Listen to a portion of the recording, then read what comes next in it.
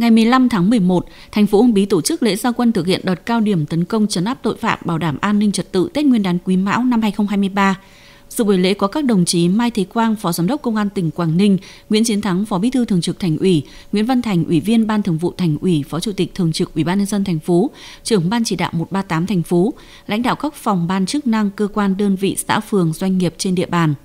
Tại buổi lễ, đồng chí Nguyễn Văn Thành, Ủy viên Ban Thường vụ Thành ủy, Phó Chủ tịch Thường trực Ủy ban nhân dân thành phố, trưởng Ban chỉ đạo 138 thành phố phát động đợt cao điểm tấn công trấn áp tội phạm, bảo đảm an ninh trật tự Tết Nguyên đán Quý Mão 2023 từ ngày 15 tháng 11 năm 2022 đến ngày 5 tháng 2 năm 2023.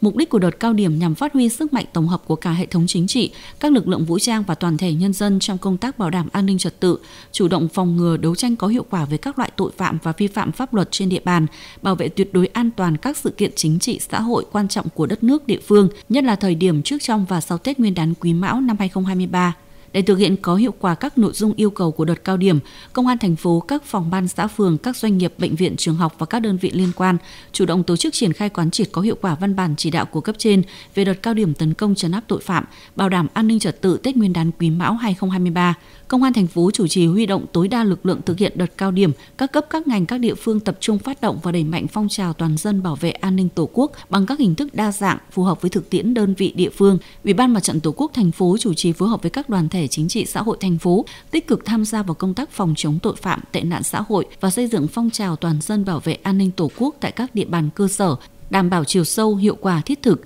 tạo khí thế động lực, khích lệ nhân dân tự giác tích cực chủ động tham gia bảo vệ an ninh trật tự. Ngay sau lễ phát động, các lực lượng đã xuống đường tuyên truyền về đợt cao điểm tấn công trấn áp tội phạm, bảo đảm an ninh trật tự Tết Nguyên đán Quý Mão 2023.